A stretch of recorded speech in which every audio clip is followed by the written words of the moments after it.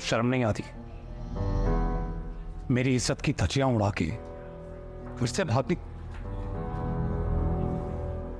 क्या क्या कर रही हो? वो कायनात की अम्मी की तबीयत ठीक नहीं। और तुम्हारी चाची लगती है वो?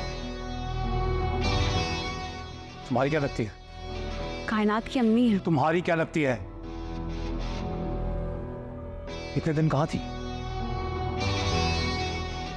हाँ। उसी के घर में होगी ना। और वारसला और उसकी माँ तुम्हें पूरा पूरा मौका दे रहे होंगे। वो मेरे अब्बू का भी घर। तुम्हारे बाप का घर बिक चुका है। जिस पे बहुत उड़ा करती थी ना तुम बिक चुका है वो। मैंने फैसला कर लिया है कि फैसला करने की औकात है तुम्हारी। पता है फैसला मैंने कर लिया है। और वक्त आ गया है कि तुम्हें वो फैसला समझा दिया जाए। मुझे मत